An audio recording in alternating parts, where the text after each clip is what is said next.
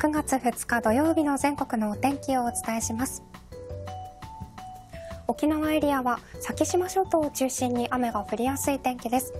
台風11号の接近に伴い次第に強まる風や横殴りの雨高波にも警戒が必要です。飛ばされやすいものは中にしまうなど対策を行ってください。また東北南部から西日本にかけては晴れて日差しが届くところが多くなります。日中は汗が吹き出るような暑さです。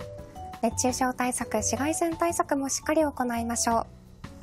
また東北北部から北海道にかけては雨が降りやすく一時的な強まりに注意が必要です。以上全国のお天気をお伝えしました。最新の気象情報はアプリウェザーニュースからも詳しくご確認ください。